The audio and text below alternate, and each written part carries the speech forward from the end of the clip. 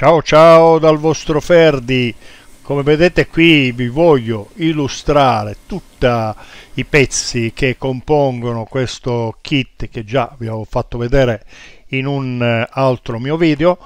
E come vedete qui davanti a me qui ci sono tutti i componenti, i vari componenti che formano eh, pian piano poi il motore completo che vi avevo già mostrato. Questi pezzi sono realizzati con una stampante 3D, il tempo corrente sono state circa 65 ore, vedete qui il basamento centrale con i due pezzi centrali, eh, sono stati eh, scomposti i pezzi perché sennò era impossibile realizzare con la, con la nostra stampante tutti insieme i pezzi, quindi sono stati divisi sono stati divisi in modo da poterli eh, realizzare. E poi io alla fine l'ho incollati tutto con, della, con la poliuretana. Vedete qui c'è un, uh, il carter uh, sinistro. Questo è il cilindro fatto in due metà con uh, lo scarico e con eh, il foro di aspirazione questi sono i coprivalvole. Poi tutto questo qui che vedete in questo momento andrà, eh, andrà ehm, verniciato nel colore che preferite.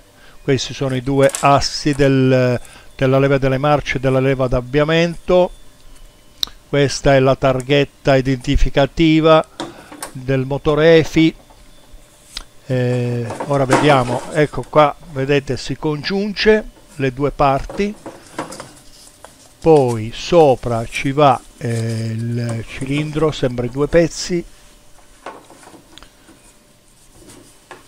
poi i due laterali due carte laterali oh, sbagliato ecco qui giriamo bene in modo che combaci tutto ecco è composto ora mancano solo i due coprivalvola e del motore è tutto finito. Poi c'è un tappetto dell'olio tappo del, dell'olio e poi un beccuccio un beccuccio del, del, dello sfiato dell'olio. Ecco qui. Questo pezzo va messo in questa parte qui sopra questo invito il materiale usato è TPU è una plastica molto dura la consistenza è più o meno come quella di un legno, legno duro. Vedete questa è la valvola dello scarico.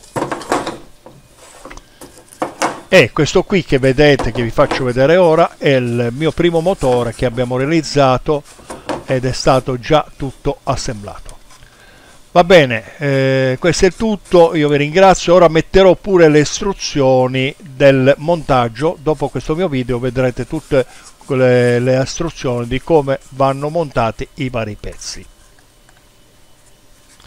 Vedete io che i coprivalvola l'ho fatti di colore cromato come gli altri pezzi, mentre l'altro eh, l'ho verniciato tutto in nero. Va bene, io vi saluto vi ringrazio e vi do appuntamento ai miei prossimi video. Ciao ciao ciao ciao